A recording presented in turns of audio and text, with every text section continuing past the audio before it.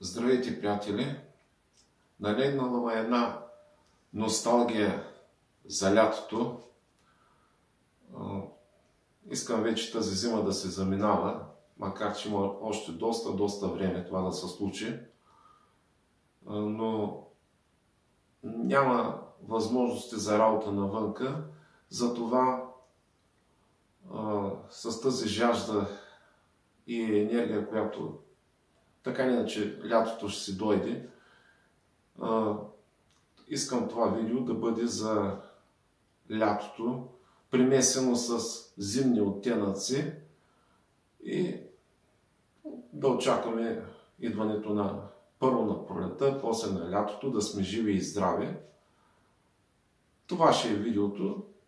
То ще е кратко, но чакам да се подобри времето и затова го правя така това видео. Благодаря ви за вниманието, за гледането. Пожелавам ви приятно гледане и всичко най-хубаво.